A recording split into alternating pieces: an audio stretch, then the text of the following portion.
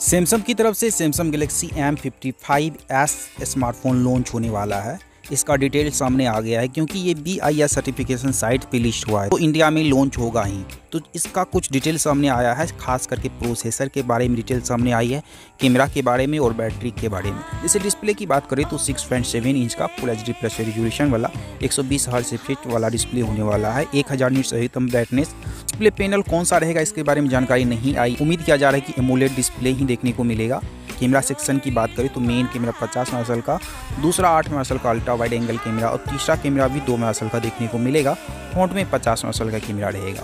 पाँच हज़ार एम की बैटरी और 45 वाट का फास्ट चार्जर। ये स्मार्टफ़ोन इसी साल लॉन्च होगा तो ऑब्वियसली ये एंड्रॉयड 14 पे ही लॉन्च होने वाला है। आठ तक रैम और दो सौ तक स्टोरेज देखने को मिलेगा। खास बात इसका चिपसेट ही रहने वाला है। जो डिटेल सामने आया है, उससे पता चला है कि इसमें Qualcomm Snapdragon seven gen one chipset होगा। आपका क्या कहना है इस स्मार्टफ़ोन के बारे में? ज़रूर लिखिए कमेंट में। Thank for watching video thank you very much